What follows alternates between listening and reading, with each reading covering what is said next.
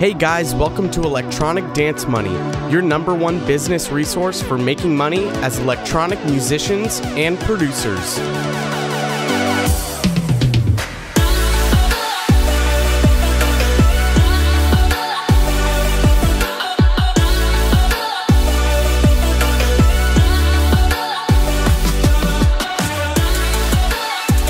Okay, awesome. So we're back with another new episode of Electronic Dance Money. What's up, everyone tuning in?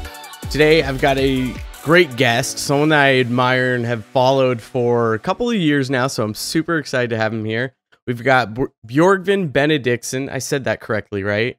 Sweet. Yes, of course. You're the author. So you've got two books. We're going to be talking about one of them. The first book is Step by Step Mixing, which you got some pretty good notoriety out of that one, didn't you? Yeah, I it's it's sells keep selling. So uh people keep buying it, people keep reviewing it. It has I think 395 reviews on Amazon now. Uh it Yeah, sells that- about 20 copies a day, so I think I'm about 15 to 20,000 copies sold, which is Dude. good for a niche industry like audio. Yeah, congrats. That's awesome. I mean, talk about which I'm going to be mentioning it passive income. That's I mean, great way to just get that, you know, get that source of income kind of flowing in every single day. That's congrats, dude. But then you also have you're also very well known for your website audio issues, which you have I think you were I, I remember I made a post I think in the Six Figure Home Studio community about how people get leads and I think you mentioned you have what over like a thousand blog writes or something on your website. Yeah, so I've audio issues is 10 years old. So I've been blogging about audio production, music mixing and and random stuff. Al- Also just like a bunch of weird stories from my life. For about 10 years, I started off in 2009 as a school project at the SAE Institute in Madrid, where I went to audio engineering school. And I started the blog as a way to just start uh, writing down what I was learning to pay it forward and sort of kind of solidifying the knowledge in my head because if you can teach something uh, you you know it better than if you're just trying to learn it yourself because it just there's there's some sort of mind shift that happens when you need to be able to teach something. So i wrote everything down i was learning and i just never stopped writing and i think uh, like you said it has probably about thousand blog posts on that site and then uh, there's content all over uh, various other audio production websites online. And yeah, so it's been going for a while. Dude, that's fantastic. You, that you're 100% right about the teaching thing. For some reason, even like which we'll probably talk about imposter syndrome a little bit, but I mean, I always experience imposter syndrome, especially with the podcast funny enough. And I think it's something about that vul- even more vulnerability of like putting yourself out there. Um but I'll I'll have topic ideas and I'm like, am I do I even know what I'm talking about here? Like is this to be good? And I always freak out about that. And then I start talking about it. And then I kind of forget what I've talked about in the episode until I start editing it. And I really listen to it. I'm like, oh, wow, this is like a crazy wealth of knowledge. Okay. I do know at least a little bit. So that's, you know, that's, that's nice. But even when I do lessons or even blog writes as well, it's like, oh, okay. I actually think I know what I'm talking about. Fine. I find, oh, all of a sudden I know what a compressor is because I'm explaining it to someone. It's, that sort of stuff that just kind of solidifies what you know and um, what you might need to work on and learn a, a little bit more about. How can I figure this out in order to t- teach other people? Really, that's that's the thing. Right. So, um, why don't you first kind of introduce yourself and your kind of history in music and where you've how you've gotten to where you're at? Because I would argue you're pretty pretty damn successful in the audio industry. So, why don't you just tell your story? Sure. Thank you. Well, thank you for saying that. I appreciate that a lot. Um, okay, so let's let's rewind a little bit. Uh, so first of all, I've been a musician since I was 50. I've been in bands since I was 15. I've played an instrument in some way, shape, or form since I was eight. I started off in audio because I was a youth leader at a in Iceland. All of these sort of uh, junior high schools from like 13 to 16 year olds, and then you have uh, sort of college level youth centers as well. And so I was a youth leader at a youth center for ages 13 to 16. And basically, I was in a band. I was in a rock band at the time, so I was like the cool rock lead guitar player in that youth center.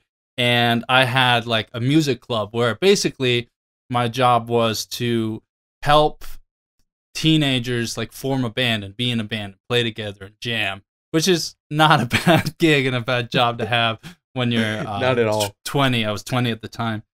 And so from there, I, I was doing music and I was playing live and I was working at in, in education basically. And one day I got a sort of a the youth leader youth centers got a memo was like we're doing a workshop on live sound in this uh at this other music venue slash center for for teenagers. Anybody who wants to come uh check it out and learn how to like connect gear and stuff. And and i had been i was in a band we were recording we had recorded our own album at the time. We like created our own recording studio in our rehearsal space and recorded a debut album which does not sound great but uh still proud of it anyway. But at that time i was just the lead guitar player. I was just like the asshole uh, guitar player that wanted to be louder in the mix or thought Right. uh, thought everything sounded like shit. And but when we got that sort of email to, uh, to for that workshop i went down there. I was encouraged to go check it out. So i went down there and basically it was just like a crash course in signal flow how to connect a uh, an analog 16 channel mixer to a pa and how microphones worked and all that sort of things that I kind of knew a little bit about. But then I got sort of a crash course in running live sound. And little did I know at the time that basically the guy that was running the workshop, he was like the live sound dude for the town or the town council. And he didn't want to run sound for that venue uh, any longer or or didn't always have time to do it or whatever. So because I was fairly enthusiastic about it, I had played that music venue before, um, and it was a really cool sort of underground, up and coming bands, uh, and I, yeah, a lot, a lot of cool Icelandic bands came out of that music venue or came through that venue, and I kind of jumped at the opportunity. Was like, well, let's try this out. Uh, I'll, I'll see. Um, I'll try being live. I'll try doing live sound and you know getting an hour or two hour crash course in uh, signal flow and, and connecting cables does not make you a live sound engineer I don't think it would either. so it was a lot of trial by fire but basically it was like well if you want this uh, if you want this job like you're hired uh, we already have your uh, information from the other center because everything everything's very when you're in a democratic socialist country uh, and you work for the town everything's very well connected. So it's just like we'll just put you on the payroll here and you work here too now. And the there's a gig on thursday. You should come and you'll get the uh, you'll have like you'll shadow this person for a few gigs and then you then i ended up basically being the live sound engineer Running there. And then at the same time i was the assistant director of another youth center and that guy encouraged me or the the director of that youth center encouraged me to pursue audio engineering as a career. So I did live sound for a sound reinforcement company uh, while I was saving up money to go to Spain to SAE Institute, uh, the School of Audio Engineering, or I think that's what it's called now. Just the SAE Institute. It's all over the world. Has campuses all over the world. Uh, in the U.S., it's you know L.A., Atlanta, all the hubs, you know. But I went to Spain to Madrid because it was cheaper and um, I kind of wanted to to learn Spanish or sort of master my I had learned Spanish in school because I took a lot of languages in high school, and I wanted to pursue Spanish sort of on the side, sort of as an as an unofficial extracurricular activity. So all the so I went to Spain uh, at the height of the economic crash, Mm. and all of my savings was just kind of not I wouldn't say wiped out, but definitely the the currency exchange at the time was really uh, bleeding me dry. Uh, so that was uh, it was rough, but it really taught you a lot about budgeting, how to live on like five euros a day, which is uh, came in handy. Uh, but yeah, I went to audio engineering school in Spain there there and took and that was a year uh, of technically back in the day you could do a year which was basically a, a diploma or an un, or sort of a vocational degree and then you could continue for another year and get a degree like a BA in audio engineering or of music production, whatever it's called. But during the first year, I met a girl, and As one does. yeah, as one does, she was backpacking through Europe. I was uh, studying, and we uh, we liked each other as they do. And Yep. And fast forward that sort of be uh, that sort of side story. Now we live together in Tucson. We have been married for five years, and or actually close to seven if you count the immigration wedding too. And now we have a four-day-old uh, daughter, which is great. Oh, congrats. So adorable. Oh man, that's so exciting. Yeah. So in audio engineering school in Spain, I started writing down everything that I uh, learned and blogging about it, um, and never stopped blogging. And then when I graduated there, I came to Tucson because she went to law school here. And the easiest way to stay in the U.S. Uh, legally is to become a student. So I Okay. went and became a student again. I went to Pima. I went to a community college here, and then I transferred over to the University of Arizona, and I got a business economics and entrepreneurship degree at the University of Arizona. Uh, I started a startup called Crowd Audio, which was basically a, a mixing music mixing version of the 99 Designs model Oh. Yeah. musicians would post their multi tracks and then engineers would compete for the best mix. Oh. Yeah, so we did crowd audio for a while while I was in college. And meanwhile, I was I was still writing audio uh, on audio issues, writing Right. books and things like that. And after after college, we we ran crowd audio for a while until we sort of just it's it's sort of fizzled out in a way like technical reasons because none of us were like coders but also Mm. we sort of wanted to do other things and we started spreading out across the country you know university the university uh, experience really helps keep you together in the same city but once Yeah. once people graduate they might take jobs elsewhere and stuff like that. So i uh, that sort of we disbanded that basically uh, after a few years but we were profitable and it was it was a really fun experience for sure. And then i just focused on audio issues and i've been focused focusing on audio issues ever since then more or less. Uh, writing books step by step mixing came out in 2017 the first version. Uh, i wrote i rewrote the book and published it last uh, in 2019 i think it's due it's actually kind of due for a third version uh, because how i how i write a lot of the books is i'll blog about a subject for maybe a couple of years and then I will just put a lot of that together and sort of edit it together for com- for comprehension so that it's concise and and sort of a solid piece of work and then um, then I release that as a book. So Yeah, I feel like that's a really good way to write some I was actually have you read um have you read uh Steal Like an Artist Yeah, oh, by yeah. Austin Kleon? yeah, I have keep going right there. I need to get keep going. So I read uh I, I read both um Steal Like an Artist and Show Your Work, which were fantastic. Back to back, they're great books. I need to read keep going. But um I got the I got what I think is a really good idea for a book that I'd like to do. Um at the time when I read that book, I was doing a lot of I was trying to grow my Instagram page, but I didn't have really a I didn't really have a reason to want to grow it. And so I was doing a bunch of tips and tricks um, where I would just basically, you know, on all sorts of different audio stuff, on mixing, mastering, production, you know, using specific tools. And so I would use images and basically create these posts on with Canva, and then I'd post them on Instagram.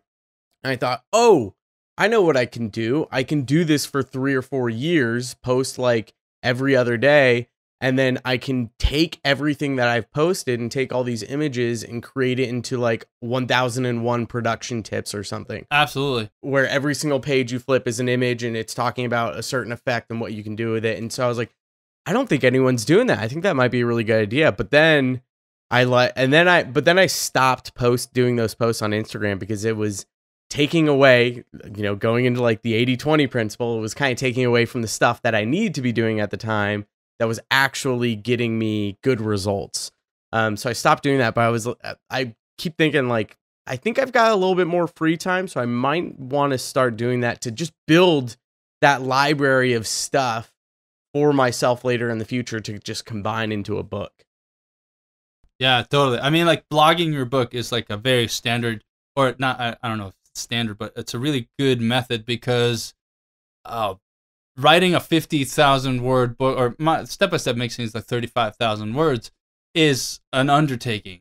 But if you commit to like 300, 500 words a day, that's not that bad. And they don't have to be great. You know, they just have to be on the page. You can always edit it later. My girlfriend Marty, she's my editor. She's editing an article for me today. I like I'll I'll write through an article and I'll be and she she just marks it up like crazy because I'm I'm terrible with grammar and I'll just get in my head. I just need to get it out on the paper and then leave it to someone else to edit that stuff. But you've got a new book out, which is why I wanted to have you here, which is called "You Get What You Give."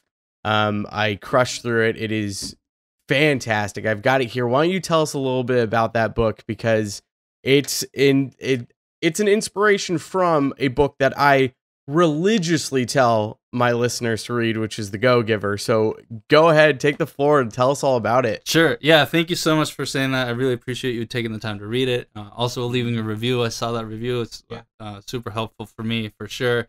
But yeah, you're right. So uh, The Go Giver didn't. The Go Giver is great. I have it on the shelf there, and it's a great book. But it's maybe not rock and roll enough for the music producers. And although the principles and sort of the business principles and the success strategies, as I like to call them, are um, are great in any industry. So what I wanted to do was write a quote unquote a go giver style business parable for music producers that want to achieve success in the music industry, whether they're the, whether they're you know music producers, beat makers, studio engineers, uh, like online mixing engineers, or, you know what whatever really, uh, because it, it is applicable sort of across the board because there are more strategies, uh, broad term strategies than really nitpicky tactics. Right. So it's written as an in a sort of a novel esque way. So it's a narrative storyline. Uh, it's written in the third person, and you're following the story of the protagonist, Casey, who is unhappy with his job. Uh, we really only see him in his job for like three pages or something yeah. because I make him very, I make him rage quit his job almost immediately at the beginning because he's so tired of working for the marketing agency that's uh, doing anything for anybody and therefore doing everything pretty poorly. Um, yep.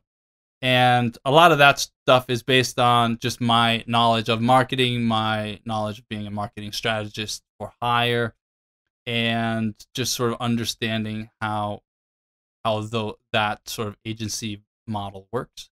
So he quits his job and because and you know he went to technically he went to audio school, but doesn't realize that you know, even with audio chops, you still don't know what you how you can get clients or how you can achieve success and how you can really like make this a living.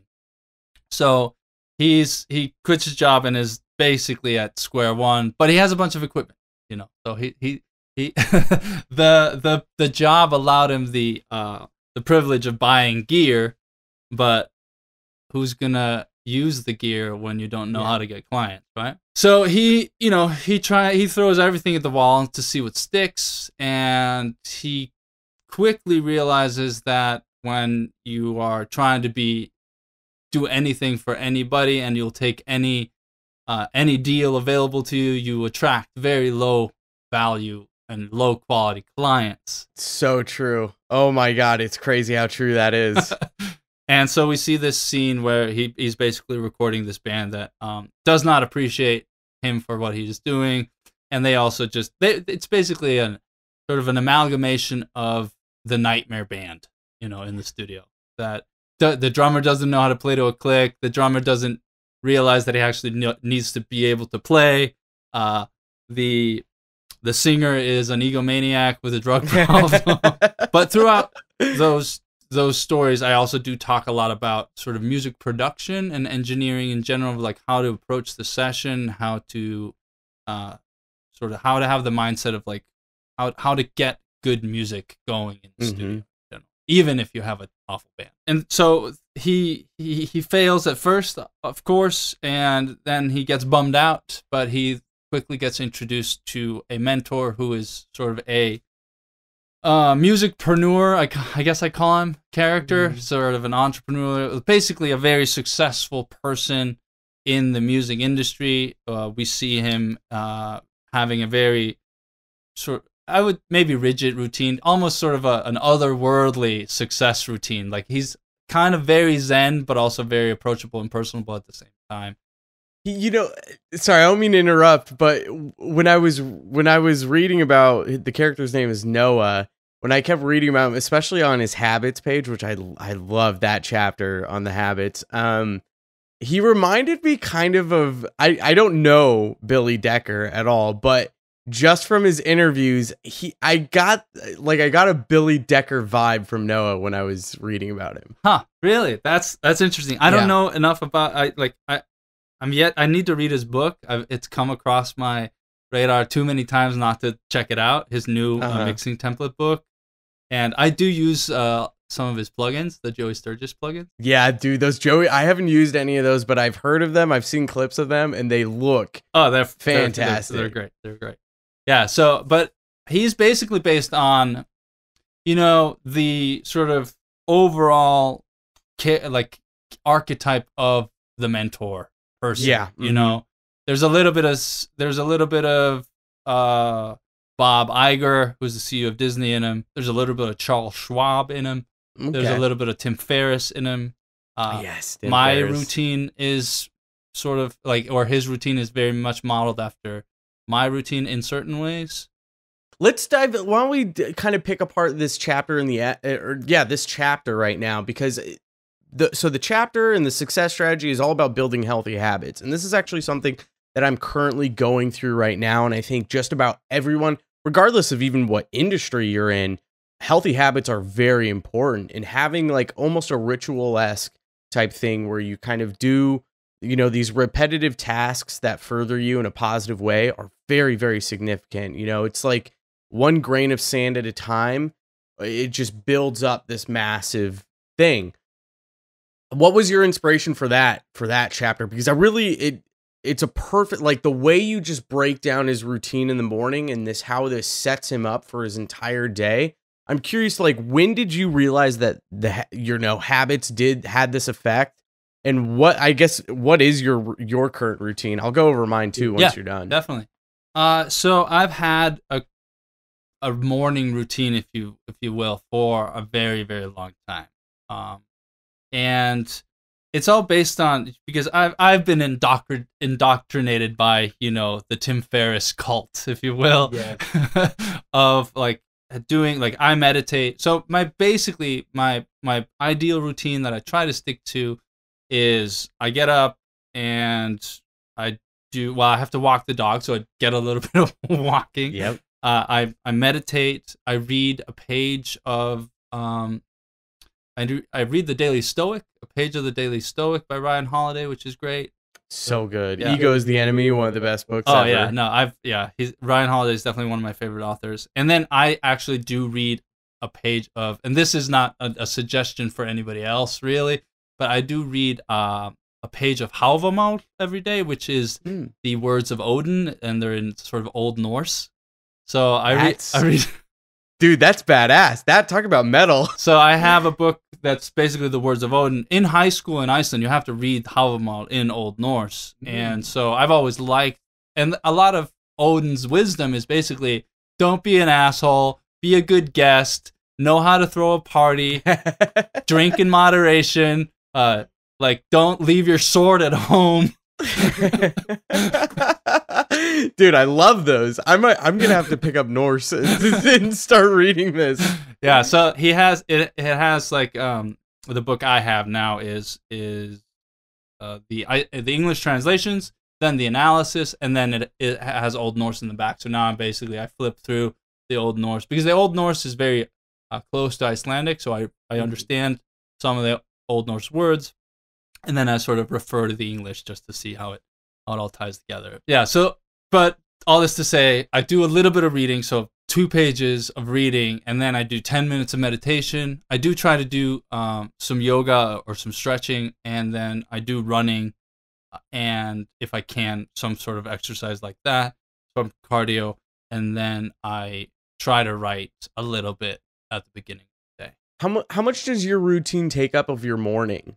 I would say it's probably about an hour and a half. Yeah. You know, and this is actually something that I've been so uh I'll wake up at 8:30 to work. I I have to work starting exactly at 8:30 and so I'll sleep until the very last minute. Um and I've been doing this for a while and it wasn't until just so I I started doing this new goal setting for the entire year that I did with my girlfriend where we sit down for 5 minutes. It, it takes about 2 hours or so, which I want to do this with my clients. Um but basically you have these six different sections that are like it's like health finance art of life um charity craft and career and there's another one that i'm spacing on. But you spend five minutes writing down a paragraph in the past tense of what you achieved that year. And then once you go through all of those then you spend another about five minutes or so writing your action items to start those because goals are nothing unless you are you have action items to actually do them. Um, and so I like I've set up this new routine. Like for the past three months, I've been meditating as well. I've been getting really into the meditation stuff, which I loved. Um, and I I just I took like a month break because of all this vacation stuff I was doing. I was too lazy to do it. but I started back up again. Have you heard of uh Waking Up by Sam Harris? Oh yeah, Sam Harris, the ten percent happier guy. Yeah. Yeah, Mhm. 10 percent He- happier changed my life. It's great, dude. Sam Harris is a legend. Uh, his wa- waking up is fantastic. It's his it's his meditation app where he basically takes you through guided meditations, and he's got this whole lesson system too. It's like 25 days, I think. He takes you through how to meditate, and then after that, you have daily meditations you can do where it's still guided with him. Changed my life. I mean, meditation is it's fantastic. So, um, I've finally like realized, okay, well, I need to wake up earlier because every time like I'll wake up and I have to start at 8:30 and it I'll spend 30 minutes kind of going through my routine. And so finally I'm like, all right, I got to go to bed earlier. I got to wake up earlier and I've been doing that for a week now. And my routine is like I, I'll get up, I make my cup of coffee, I follow uh, Chris Graham and Brian Hood, their their coffee addictions with how they brew everything. I'm right there with them. Um, and so I'll brew my coffee, I'll feed the animals, I'll I'll take the dog out sometimes if it's my day, my girlfriend and I kind of switch off, and then I'll meditate for 10 minutes and then answer some emails. And I'm like, I do all that, and I'm like, shit, I still need another 30 minutes to like do some extra stuff. So I think I have to wake up even earlier. But the point is, is you know, it might take an hour or an hour and a half out of your morning, but doing that stuff to kind of it's almost like me time preparing yourself for the day making sure that you're taken care of before you start the big legwork and you know really dive into what you need to get done and man does it feel good to like get a head start on the day almost you know wake up a little bit earlier get in your routines that you need to do you get especially with meditation stuff i mean that talk about like one grain of sand at a time i mean it takes forever to really find out like how you need to meditate um what it's doing for you and sometimes you don't even see good results until 2 months later when you're like oh you know what like I'm much more calm. I'm not reacting to things as much. Um, it's it's amazing what that mindfulness can really do and the gratefulness. Yeah, it's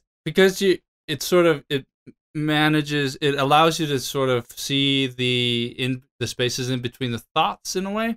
And Yep. w- one of the weird benefits of the meditation and sort of being able to think quicker in a way is I'm I'm getting really good at catching things that fall down shelves Oh, interesting. it's like imagine if you're uh you- like you're rummaging around on the top shelf and then because you're rummaging it like pushes something else and like maybe you know like a bottle falls down or whatever and like I can see that out of the corner of my eye and I know where it's going and like I'm so clear in my head that I can just grab it on the way down. Just sort of Uh-huh. like not not like going where like like Wayne Gretzky says, like going where the puck's going to be, Yep. as opposed to like trying to catch the bottle where it was. I'm like I'm quick enough on my feet now, and I I attribute this to meditation.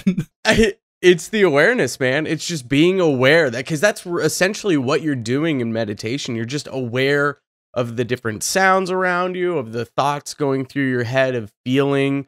Um, it's just the awareness, the mindfulness of like knowing kind of yourself and your surroundings. And so, yeah, I mean, it kind of makes sense that you can kind of, you know, you get a sense of things that are going on around you without even necessarily, without paying attention. Because that's the point, you know, you're not paying attention to any one thing really when you're meditating. It's all things around you. Um, that's funny though. Um, yeah, but the habit stuff, I mean, it's going through his daily routine routine. I loved it. It was really, it was awesome to see kind of a breakdown of someone who's successful a routine. And I mean, you look at anyone successful, and I guarantee they have a routine that they go, whether it's exercise and then they go and do writing or they do reading um, and then th- they just go through this list of things that they need to get done so that they can take care of themselves and then they can kick ass throughout the entire day.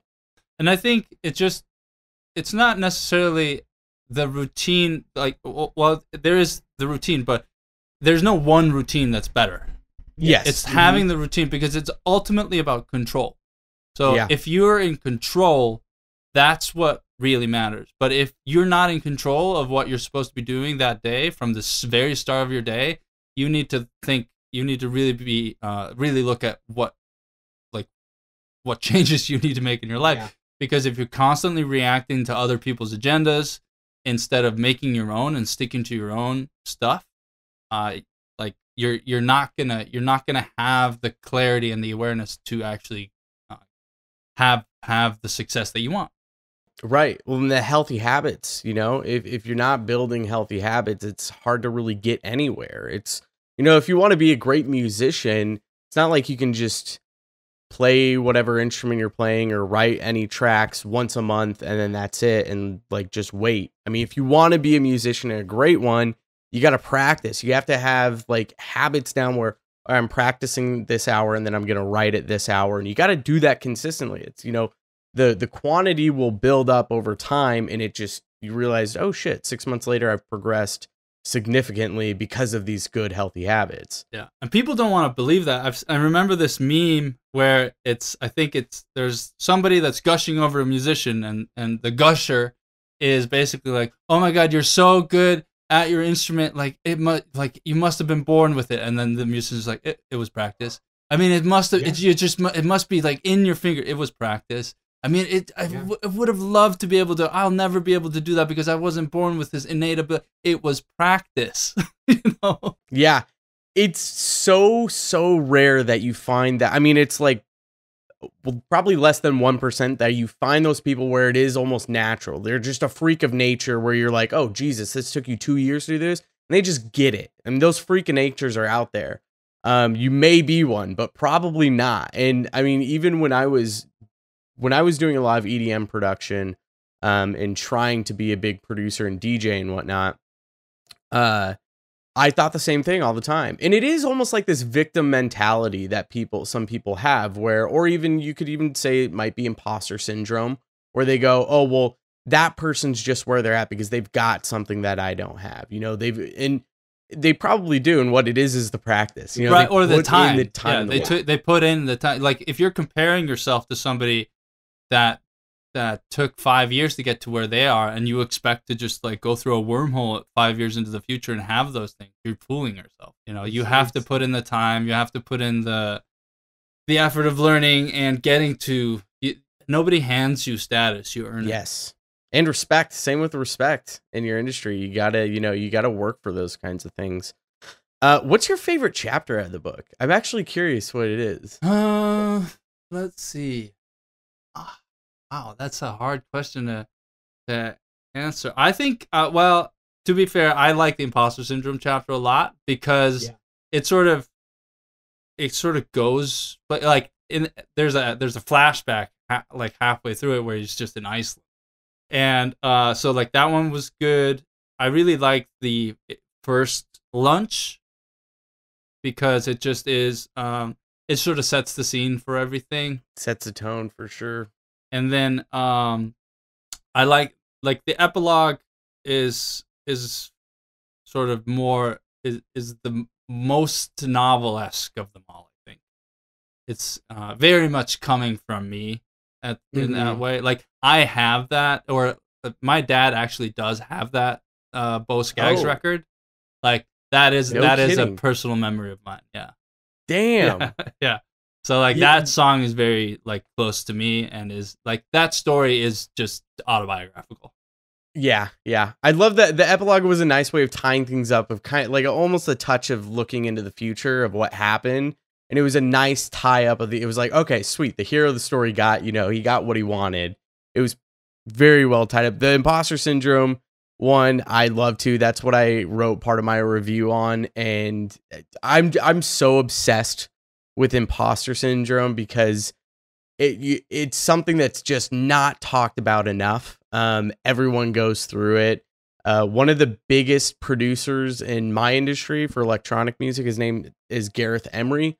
Ton of, I mean, everyone listening probably knows who he is, but he just posted, he just made a post on, I think it was Facebook or Instagram, where he's, I think he's releasing a new album, and this is the first time he's ever sang and been recorded singing. He's releasing a song. He's like, I'm fucking scared as shit. It's like, dude, this is one of, I mean, the dude has written for the biggest artists. He's been in the top 100 DJs. He's, he's made it. I mean, he's extremely successful. And here's a guy who's like probably dealing with crazy amounts of imposter syndrome. And it's almost like when you're at that level too, the impo- imposter syndrome's even bigger because like the pressure is on, you know, you've got a major audience that are, ex- they have these expectations. Right. And that's also it's interesting because a lot of times people don't succeed because they're actually afraid of their success. They Yep. don't know if they can handle that. Like what if I do all these things and it doesn't work is one option, but like what if I do all these things and my life changes and I might not like it or I'm not ready for that or things of that nature.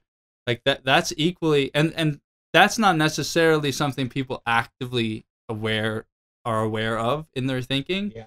Uh but it's easier for them to be like, "Oh, well, I'll never succeed." You know, because it's easier to be it's easier to not try than to try and succeed and then be terrified of your success. It's also easier, you know, that victim mentality as well. You know, if you see someone else and say, well, again, like we were talking about earlier, they have something that I don't. It's easier to just say that and kind of dwell in it rather than being like, well, no, I have to actually fail in order to succeed. So it's going to be a lot of that before I see anything great coming out of this. Yeah, I really, I really like that. Um, let's talk about impact because that was a major, major theme of the book, and it made me, you know, I really liked the way I can't. What chapter was it in? Um, I think it was when he met up with uh, who's the second person that he met up with at the group meeting. Uh so there is It's when they were talking about positioning yourself, like how to position yourself. yeah, so like the when when uh the drummer or the Amy is with them or are they at the Japanese restaurant? The Yeah, I think it's the Japanese restaurant. Japanese restaurant. Okay, okay. Yeah, the Japanese restaurant is when they're talking about sort of what problem are you solving and how, Yes. how like That's right. the band like a band playing a venue is solving a problem for the venue. They're not like they they're not no no musician is entitled to play live. They Mhm. the the reason venues and bars and you know people hire you to perform is that they have a problem that they're hoping you can solve. Like in the case of a bar or a venue, they're they're hoping they draw you draw a crowd so that they can make money off the bar or ha- or part of the ticket sales, whatever. Unfortunately, musicians tend to not truly understand that the industry is all working as a business except them sometimes, and they just want to be artists, which they should be, but they really need to have a s- slight business mentality when it comes to just understanding the other person's point of view. Like think about it from their side. Like why like why should we care about your music in a Yeah. way? Like how does how does your music or your fan base or your audience, or your platform, how does that help the the the band or the the the other person, the the your customer, quote unquote. Because as a touring band, like a, a venue is your customer. Uh, your fans are your fans. Your audience are your fans. They're also con- your customers to a certain extent because they pay tickets and then buy merch and stuff like that. But there's there's a primary customer in the form of the venue, and then there's a secondary customer sort of in the form of the audience or the fan. That's really interesting. I've never thought about it that way as like the venue being a customer of the artist, but that makes so much sense. It's it is true. And you know, going into I'm so happy you mentioned it because I mention it over and over again. It's the reason for the podcast is for producers and artists to learn the business side of the industry. You know, it's the stuff that the artists don't want to learn that they need, you know, art, like you said, artists should be artists. They they're creating art, but there is a business side to this whole thing. Um, and that impact, you know, the whole impact theme of the entire book really struck me and the problem solving and positioning because it made me look at my business and go, the way you just put into words of how to position yourself and how to problem solve really made sense. It kind of struck this light where I was like, oh, okay, because, you know, like the Six Figure Home Studio podcast, Chris and Brian talk about that all the time, how important positioning is. Um, and they explain it well, but I don't think that you explain it in a different sense where when you put the words on paper, for some reason it just clicked to me. I was like, okay. Like I understood it before, but now I really understand. Now I'm like re like analyzing my business, like, am I positioning properly? How can I position for impact too? Because that is what you're selling, eh, you know, whether or not you're doing mixing, mastering, recording, um, if you're doing vocal editing or if you are just a musician, I mean, the impact that you're trying to make as a musician is all about the music you're making. Um, and how are you making an impact with that music? And how can you translate that you are making an impact with that music? And I think when you're looking at impact as artists or producers, it really comes across as, you know, let's say you are trying to get more fans and that's you're trying to make an impact with your fans. I think it at that point it's all about the storytelling and how you can get them to relate to the message that you're trying to send out to people. And that is I mean that do you do you have any experience with drawing that impact of like telling I mean actually no you definitely have some advice you could probably give for telling a story the right way cuz your email marketing for anyone that listened to the two-part email marketing series that I did everything I learned from is Bjorgvin here. I might need to bring you on for another episode another day to talk about email marketing oh, you are a to dude, you're a leg. It is. Oh my lord, Bjorgvin is the is a beast at email marketing. Your story, the way you talk about how you need to tell a story, really. I I had already written like 20 emails that I had in a um uh queue or whatever for when people join, and I had to go through and rewrite every single one of them because I was like, I'm not telling a story in any of these. Yeah. So well. When it comes to impact, especially when it comes to fan base, like I, I'd highly recommend people that aren't hip to Seth Godin to go check them out him out because what he talks about a lot is this term he calls enrollment. Like uh, the only way to lead people is that if they have enrolled on the in the journey with you, right? They've oh, okay. they've they've like uh, they've raised their hands and said, "I'm in. I believe where you're going. Uh, I think that you can help me out." Right? So they're enrolled in the journey of like whether that is whether you're helping them out with some you know practical stuff or whether you're just in, entertaining them with your music or your content or whatever you have to you have to sort of relate to them in such a way that they are they they are happy to follow right? And telling your story is probably the easiest way to find the people that can relate to you because if you don't tell your story how on earth is anybody going to know how they can relate to you if they have no idea who you are, what you stand for, where you come from, what you like, dislike, you know, what your pet peeves are. Uh, like th- there's a reason you we have friends. It's that they like the same stuff as we do. They understand you. They they kind of like they may think that like some of your views are stupid, but they like you anyway. like, yeah you know and because it's the way that you are and you're you're personable and you're like authentic as a term has been like driven into the ground too too hard but it's just sharing you know being you in in such a way that is helpful to them. Don't be you like completely like there there is a dark side or there is an edge to where you don't need to share your story because if it doesn't benefit them in any way, if you're just ranting or you're bitching about stuff or you uh, are maybe too personal and and it has no real benefit to your your followers as as an audience that came to you for a specific reason. I have failed at this multiple times, which is why I learn why I preach it because I've learned it like right. the hard way.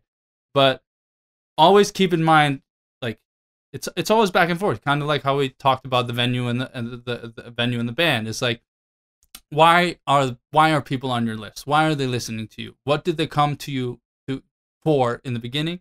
And how can you share your story in such a way that creates a connection uh, for them to you and also helps them out in the same time? Because I've been running audio issues for 10 years and a lot of people come to me and it's like when they act, either e- either actually meet me you know go on a zoom call or join me for one of the like group coaching calls that i do as uh, with my insiders they sometimes they say like i feel like i know you so well you know? And i've like never like i've never talked to them before. Or like yep. I, I may have like read their emails and replied to them via email but because of the way i share my story and because of the way like like the first time you get on my email list i share a very specific story. And like i tried to sort of tackle uh, my arc while simultaneously showing them the techniques that they came there to learn. You know?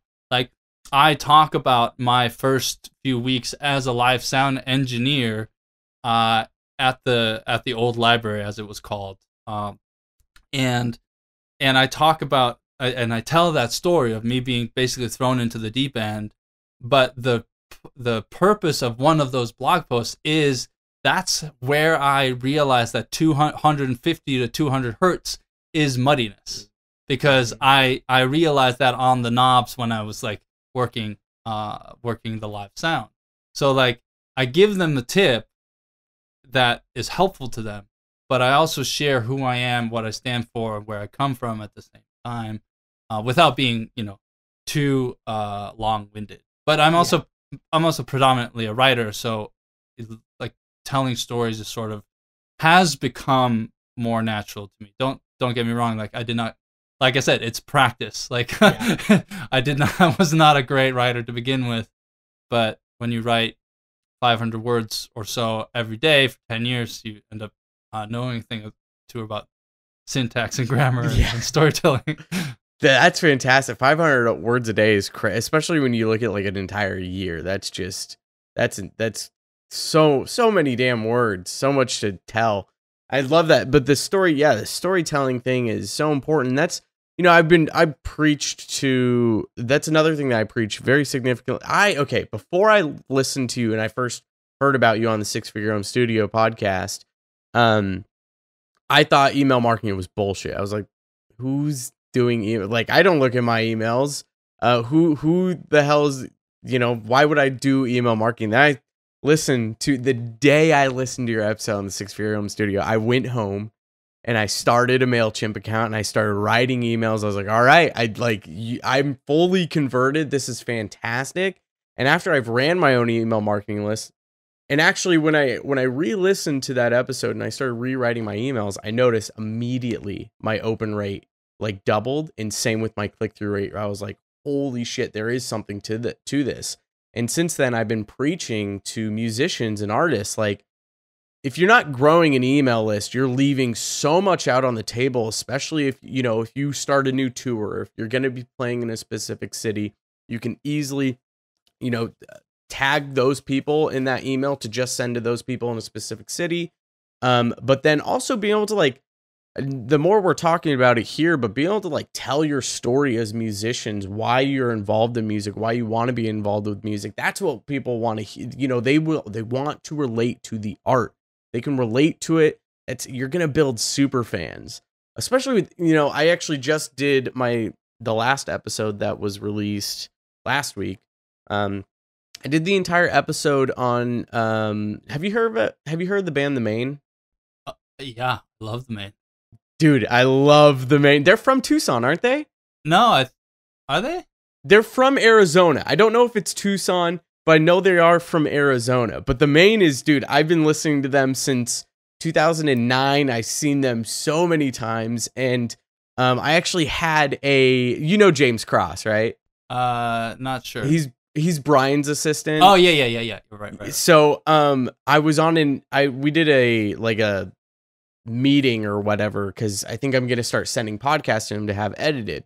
And he listened to the podcast and we got into my music history and I mentioned the Maine. He's like, dude, I don't know why you haven't done an episode on the Maine. Like they're so big and they're conti- like they're still getting bigger and bigger every day in what like seems like a dying genre. And I was like, that's actually a really good point. And so I started looking through their feed and I was like, they're very consistent with their posts. They're still, I mean, writing almost an album every single year. They're growing their fan base like crazy. So I was like, damn, this is actually, this is really interesting. So I did a whole analysis on the Maine. And one thing that I noticed is that they almost very specifically write albums. I was like, okay, well, and they're promoting them for almost an entire year. So that right there, they have the content and they have the stories in the album, and then they can continue to tell their story through the content that they're posting with the album. And so I was like, that is like genius. I mean, no wonder why their fan base continues to grow on, and they've created super fans, people who are like. They have, I mean, it's one of the reasons why I am still listening to them today is because I had I mean, I was going through a lot when I was a teenager, when I was younger. Um, and all I was doing was listening to the Maine, and they have a bunch of like breakup songs and stuff. And so I'll go back and listen to those and remember like that time and how much more simple it really was. I didn't realize it at the time. Um, but like I I almost remember these personal stories of mine through the stories that they tell of their own music. And again, it's create a super fan. I've I've shared their music with a bunch of people. I've listened to so many of their albums. I've bought albums, I bought merch. So they've, you know, if you look at the, then you can almost start to look at the lifetime value of a customer through that as a fan, which is great data to know if you're trying to be a full time musician. But that one thing, the albums compared to like releasing singles, this is something I mentioned, like singles are great, they're not bad but there's not you know there's not a deeper story that you can usually tell where as as you can with like an album an album there's 10 15 songs that you're writing an entire story through that each band member can write a story about like there's a lot of there's a lot of nuance there and there's a lot to be said. Definitely. Yeah so like the whole single versus album promotions thing is is interesting because uh, I I truly like albums, uh, and and I looked up the Maine here, and like the so I had uh, a 21 year old assistant a couple of years ago, and she turned me on to the Maine, and I I, I think that band was like my top favorite band on Spotify Wrapped that year or whatever. Just like very much like the sort of music I listened to when I was uh, like mm-hmm. in my 20s and still do, but not as much as I did then, right? When I was in a band that sounded like similar to that. But when it comes to like the albums versus singles, uh, especially when you're doing everything as an indie artist, like it's easy to do, a, and a lot of my audience are are like working on their own music, and they're doing everything themselves. And at that point, I always recommend like do a single because it's like less work to yeah. do one single and you can just release a single and then you talk about that and you always have and then you maybe release another song uh, four to eight weeks later and then always have something new to talk about until you get into this groove of like that being normal for you this cycle of of, of like writing recording mixing releasing writing recording mixing releasing mm-hmm. promoting mm-hmm. you know and then you might want to do a, a bigger body of work right and but the and the album and you can also do the album um like later or first and then you just it, it's really about the promotional part because you re- yes if you release an album and you're constantly promoting the album every time like every month for like a year that can get tiring but mm-hmm. you have to think about my one of the one of the mentors that i uh, learned from ramit sethi, sethi he talks about the prism strategy which is basically you know like the you know the dark side of the moon cover you get a light and then through a prism it has all these different colors so right so a one album although it's one thing how many stories are in that album right? like the stories of the recording, the stories of each individual song, the stories of the artwork, the stories of of like any well, basically anything that happened during the creation process, right? And you write that down, you talk about it, and you you you you just come up with a list, and then those are though that's your promotional content. Because it's not mm-hmm. marketing in the annoying brand marketing like spamming your email with Hey, check out this new album. It re- was released last week, and this is the, your third post saying that same thing. or like brands that are just plain boring and they have nothing Mhm. to say. Um, that's why email. I think that's why email marketing and marketing in general just gets a lot of flack because it's done very poorly most of the Mhm. time. Because big companies just pile money into advertising, and they don't think about at the end of the day, uh, there's an individual on the other side with a credit card, and have you connected with that individual? And as an independent artist, your audience is going to be smaller than Coca Cola or GE's, right? And which is good because it enables you to be flexible and have those sort of almost individual conversations. Yeah. And people like being a part of the, you know, uh, almost I've talked about this religiously too. Have you read Contagious? I think it's by I think it's Jonah Berger. It's great, such a good book. Um but it take talks he talks about how to make viral content, like why content goes viral. Um and there's this social currency aspect of if you're a part of this like secret group. You know, if you're a part if you know a musician before they blow up, Right. all you talk about after they blow up is, oh, I knew them before they blew up. You know, the hipster stuff that Yeah. people always say. Um, so people like being a part of, you know, something that's unique and different and not everyone knows about because they can go and tell their friends about it and they introduce them to it and be like, see, I know good stuff. I'm, you know, it's, it's the kind of egotistical stuff of people. But Yeah, you know, The- uh, one, uh, I that's that's funny you bring it up. Like you knew somebody before they blew up or whatever. Uh, do you know of Monsters and Men? yes, hmm So they, um, I, lo- I I love telling the story just because it's funny, because, especially because Iceland's just tiny. It's just a Right, yeah. super small spot. So that music venue I used to work at as a live sound engineer, there was this, uh, there was a band called Cliff Clavin, and if I didn't really know this at the time because I wasn't a Cheers fan, but Cliff Clavin is like the guy at the end of the bar at at, at uh in Cheers, but Mhm. they played stoner rock, so like Queens of the Stone Age style rock. Uh, really cool band. But then the drummer went on to become the drummer in Of Monsters and Men. no shit. And Aratnat, like it's like a great guy. I did live sound for him multiple times. We hung out a lot shit. and because it's just a tiny community but whenever i see him on you know on a video or whatever i'm just like laughing because it's just it's it's like seeing you're seeing somebody become something much bigger than what you knew them as and you're so happy for them at the same time Yeah, that's like this. There's this guy. Um, his name's Kai Wachi. He's huge now in our scene. I mean, playing all the major festivals. But he grew up where I grew up. He's two years older than me. I've hung out with him a couple of times, and I remember at we for the we met each other for for the first time walking by each other at a music festival because we had chatted online and stuff. And he was like on this very clear path where everyone kind of knew we're like, oh, this guy is going to be huge. I mean, just he connected with the right people with the right record label who was blowing people up. And it was such a tight knit group. And you're like, oh, yeah. I mean, he's set in stone.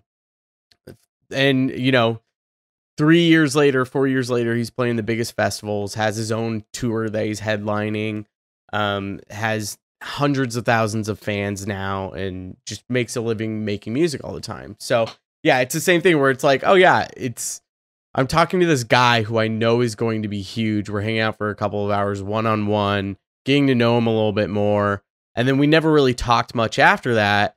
But then just seeing like it's just seeing someone's name in lights that you know. You're like, Jesus, that's fucking crazy. That's insane. yeah Um, um if you i don't know if you've seen um there's a the for the song wild roses off the fever dream album there's a video of Mo- of monsters and men and it all happens in this indoor swimming pool and that's one of the th- weird things about just how small iceland is uh like that's the swimming pool i took swimming lessons in school for almost seven years shit. yeah, dude. well, talk about you talk about telling a story. I'm sure like people from Iceland are probably like, yeah, we fucking know these people. Yeah. Oh yeah. We grew up with them. Yeah. They're no, yeah. Definitely. Definitely. Like it's because, well, there's no six degrees of Kevin Bacon in Iceland. It's more like one bacon or two bacons. That's crazy. Um, I'm curious. Uh, what are so? What do you do specifically to kind of draw some impact for your or like wh- how are you making an impact with your clients? And what what would you suggest to people who are trying to figure out how to make an impact? Obviously get the book because the book does a great explanation of that. Um, but in your own words kind i mean i guess the book is in your own words but what would you say in this interview setting? Well, Um, so how would Yeah, well, let's let me say that. So basically, audio issues sort of encompasses a lot of the stuff that I talk about in the book. Like, I am audio is not for everyone.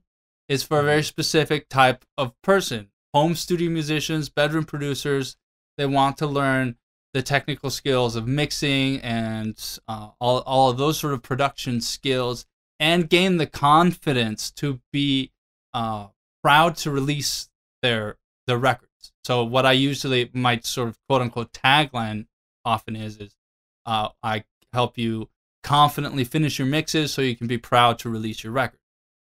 And so I'm working at sort of the top. If you know the Maslow's uh, hierarchy of needs, I'm working at the top. I am trying to foster a sense of confidence so that you can self actualize as an artist, so that you can take that final step and release your music because that music deserves to be out there and be heard by other people because I've heard it and it's amazing. You know, like people send me their songs that they're working on all the time and I I can sometimes go like, well, I mean, it, the low end is a little muddy or whatever and or it's, the vocals are a little harsh or it can be louder. Like those are all just technical issues that are super easy to solve. But what I want to help you solve for yourself as my audience when I say you is I want you to be confident in like yeah this song is good enough. It deserves to be released. I should put this out as a beginning of my body of work. And I do a lot of that. My the the biggest impact I probably have is with my insiders members because it's all about that. It's all about helping them get feedback on their productions so that they can improve their mixes to the point where they just release their music because there's a group of their peers we have feedback friday every other week where people bring their mixes or their works in progress. And we just workshop them eh, until nobody has any further feedback. And at that point it's like it's time to be released. And you wouldn't mm-hmm. believe how many people are scared that their that their music isn't good enough. When you when you play it and you're like damn i wish i could make this you know?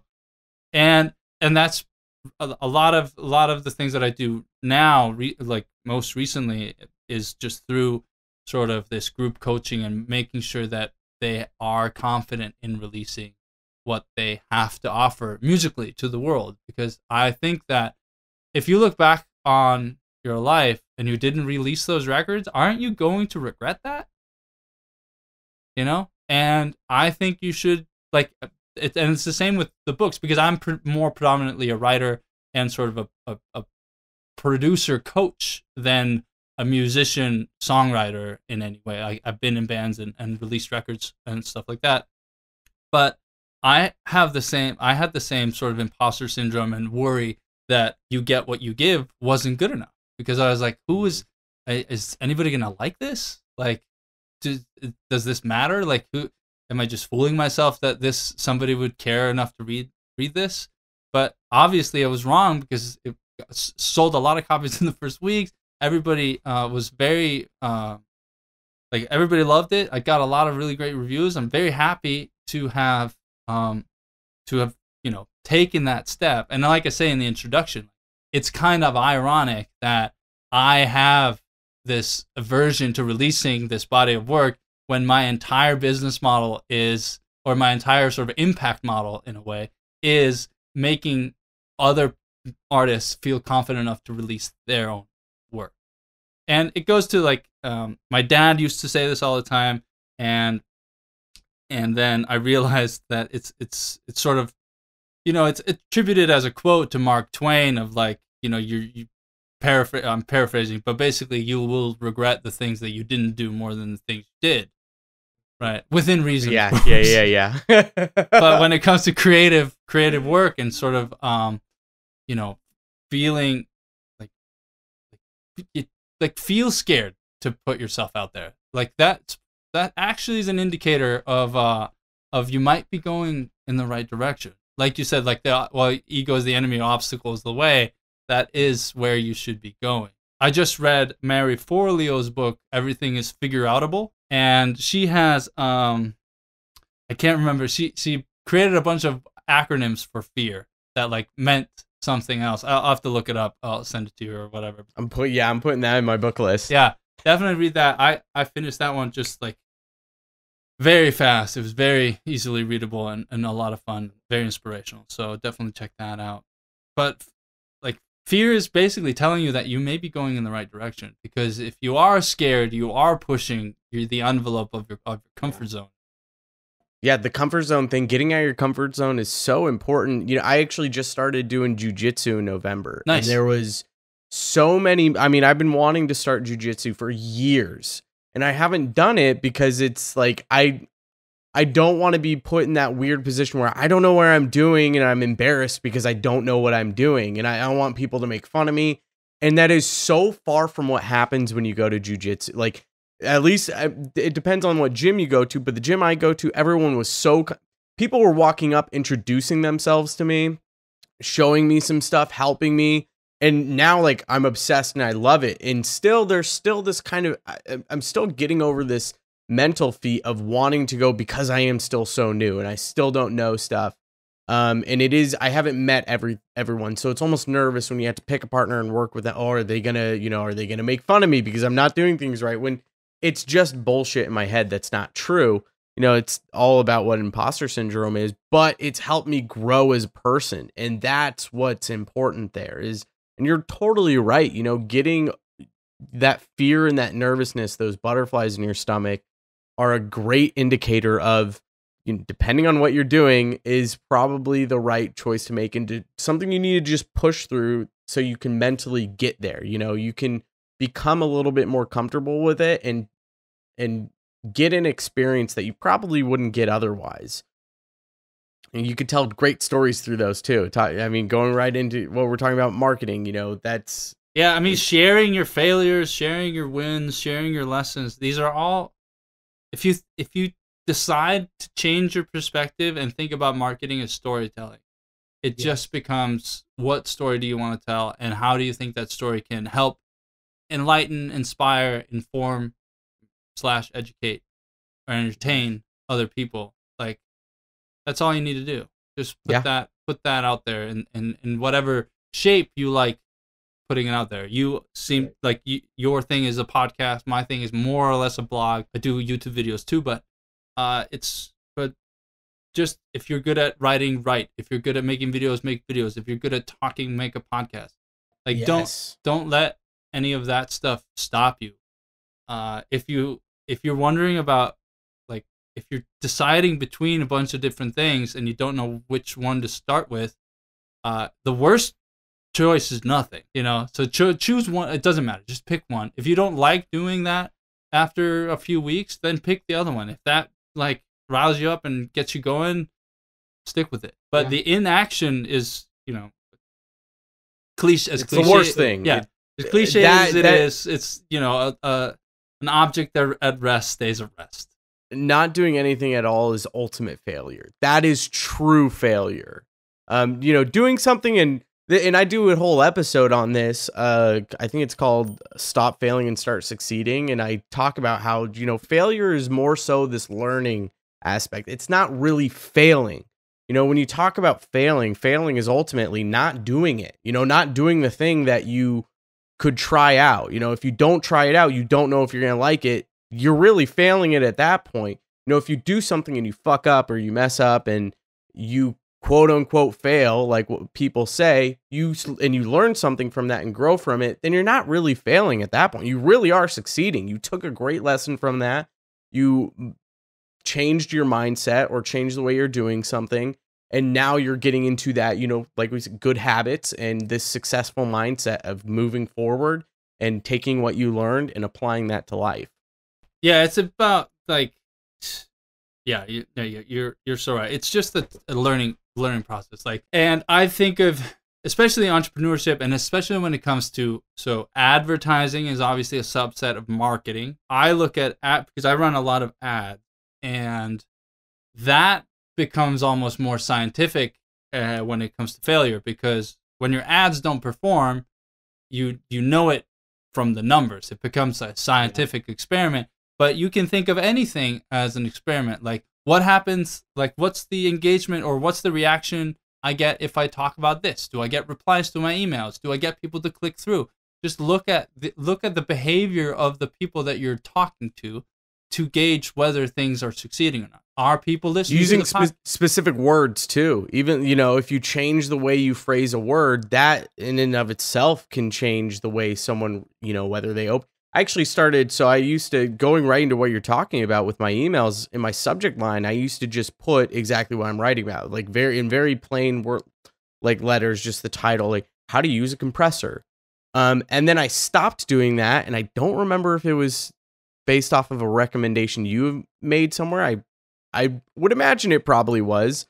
I can't remember but I started to change the way I created subject lines in like making it more practical and talking about like asking a question or putting it more in a phrase or a statement of like have you ever done this? Well do you want to do this? or something you know making it not so much about like this very technical title but instead making it about uh how like if someone are you having this issue that significantly increased my open rate and i was like Jesus, that one little change. It's very it's something very simple that I realized, and that was all through, you know, again, testing things out. I have this title here that wasn't that great, and then I changed the title, and all of a sudden, boom, the open rate went up. So, and as a DIY artist, uh, regardless of the type of art you are doing, you're trying to create a platform and promote yourself. You are a marketer uh, mm-hmm. some of the time, whether you like it or not. Uh, mm-hmm. And if you don't want to be, the only other way to to not be is to hire it out. But if you're a DIYer that doesn't have the money to do so, you're stuck being a marketer. You kind of have to live with that. But one of the biggest skills you can learn as a marketer to help your storytelling, to help your email open rates, to help your message spread further is just learn copywriting skills. So writing good copy, uh, because writing good copy is not just about writing ads that sell people on snake oil, right? And that's that's the thing that people uh, hate about copywriting. It's like, oh, it's just this, you know, it's just this bullshit product or whatever. But whereas actually that product might actually have helped a ton of people in general. But you as a marketer, musician, or what music producer, if you want to learn a skill that will help you improve your storytelling abilities, read read copywriting books, read books on how to write copy better because you can keep the story the same. You can keep the body of your message the absolute same as and if but if you change like the subject lines, the headlines, and maybe the calls to action and just slightly tweak a few things, you're gonna see the engagement with your audience skyrocket. 100%. I totally agree. Dude, well, I think that might be it. Is there anything else you want to discuss? I think we kind of, we hit on all the points there. Yeah, I think I mean that was a lot. I don't know if I, know. I, I don't know if I mean I could obviously keep talking forever about any of these things, but uh, just I'll tell I'll tell the audience that if they want to know anything more, uh, just keep yeah, keep asking questions. Uh, check check out the book at you book.com and uh, I'd be happy to come on talk about anything that we missed in the future. If you wanted to have something about email marketing or copywriting, that would be happy to do that. And yeah, so feel free to drop me a line at uh, at Audio Issues. Just go to audioissues.com. You can subscribe to the email list there if you want. Uh, the the other book, Step by Step Mixing, is helpful if you are uh, want to learn mixing techniques in general. And yeah, but otherwise, otherwise, I hope people listening found it useful, and I hope they check out the book if they have time to read.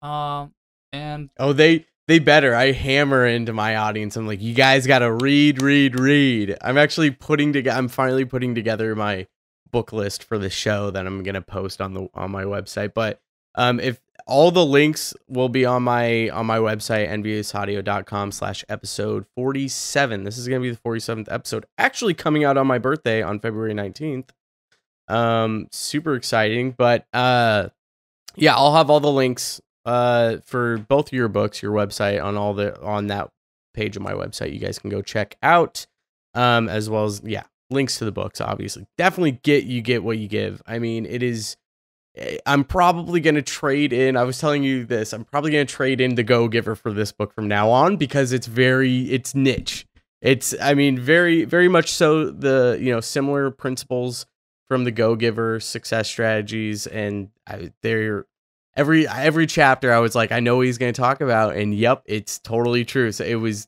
just it was really fantastic but well, I'm Um, glad you like it. Bjorgvin, yeah, thank you so much, man. I appreciate you coming on. This was awesome, and you're. De- I'm definitely gonna hit you up. We're gonna bring you on for some email marketing, copyright stuff because I think that would be fun. A lot of fun. Yeah, no, happy to do so. And thanks for having me.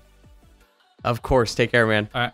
Hey guys, thank you for checking out this episode with Bjorgvin. This one was a ton of fun. I've been waiting to get him on. So, super happy that we got to sit down and talk a little bit about his book, You Get What You Give. I will have all of the links to his books, um, especially You Get What You Give, which I strongly recommend that all of you guys go read um, on enviousaudio.com slash episode 47. Go check that out. Grab a copy of his book. If you would like to check out the book list that I have created for all of the books that I'm currently reading, the ones I've recommended on the show, and ones that I am uh, going to be recommending on the show in the future, head to enviousaudio.com slash booklist. You can check that out. Grab some books off of Amazon. That is an affiliate link too. So if you want to support the show, that's one of the best ways you can do it. Otherwise, go ahead and share this with a friend. Uh, let them know if you think this episode would help them out. Other than that, I'll see you guys next time. Take care.